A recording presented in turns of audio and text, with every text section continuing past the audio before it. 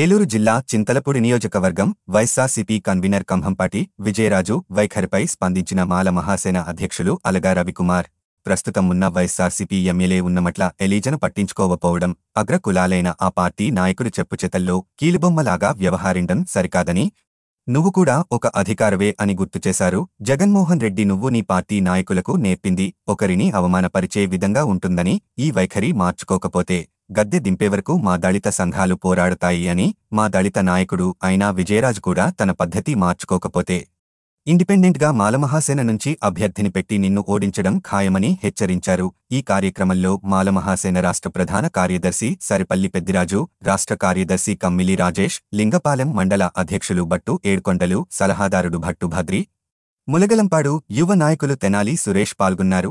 MLA MLA కూడా సమాచారం లేకుండా సంబంధిత అధికారులతో కొంతమందిని ధరల్లో కొంతమందిని వేసుకుని విజయరాజు గారు ఓపెన్ చేయడం అనేది చాలా దుర్చరమైన చర్య.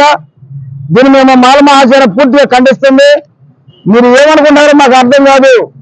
ఇప్పుడు మీరు కేవలం వైఎస్ఆర్సీపీ ఇన్ఛార్జ్ మాత్రమే మీరు పోటీ చేయాలి ప్రత్యర్థులు మీరు గెలవాలి గెలిచిన మీరు ఎమ్మెల్యే. కానీ ఇప్పుడే మీరు ఎమ్మెల్యేగా అయిపోయినట్టుగా మీరు మీరు మరి మధ్య భ్రమించి మీరు చేసేటువంటి కార్యక్రమాలు ఏదైతే మాల మహాసేన ఖండిస్తుంది. కమ్మంపాటి విజయరాజు గారు ఎవరైతున్నారు దొర చెత్తు దొర చేతిలో చెత్తుగా మారాడు. దొర దగ్గర పాలేరుగా మారాడు. దొర చాటు దొరుకుతుంది.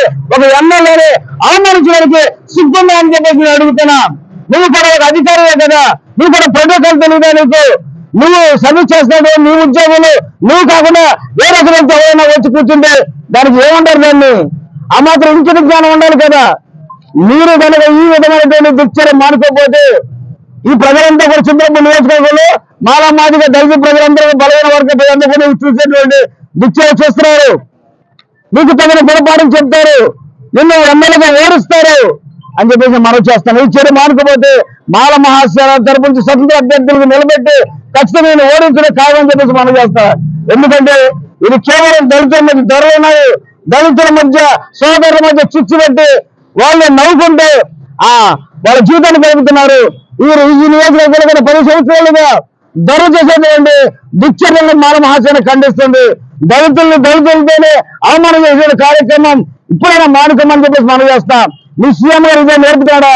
రాజ్యాంగం ధిక్కరించమని నేర్పుతున్నాడా? ప్రోటోకాల్ని పాటించక్కలేదని చెప్తున్నాడా? దళిత ఎమ్మెల్యే అవమానించమని చెప్తున్నాడా? ఇదే వైఎస్ఆర్సీపీ ఎజెండా అని చెప్పేసి నేను ప్రశ్నిస్తున్నా. ఉద్యోగం వదిలిపెట్టుకొని ఇక్కడికి వచ్చి ఒక ఎమ్మెల్యేగా పోటీ చేసేటువంటి వ్యక్తిని ఎంత దారుణంగా అవమానించడం ఇది ఎంతవరకు సమంజసం అని చెప్పేసి మాలమాసాన్ని ఖండిస్తుంది. దీనికి ప్రధాన కారణమైనటువంటి ఖమ్మంపాటి విజయరాజు బహిరంగ క్షమాపణ చెప్పకపోతే ఇక్కడ రెండు ఓడించడం కారణం చెప్పేసి మాల మహాసేన తరఫున తెలియజేస్తాను.